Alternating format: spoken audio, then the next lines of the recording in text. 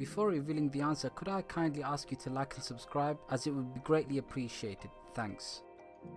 Part 2 The answer to the following riddle. I can fly but have no wings. I can cry but I have no eyes. Wherever I go, darkness follows me. What am I?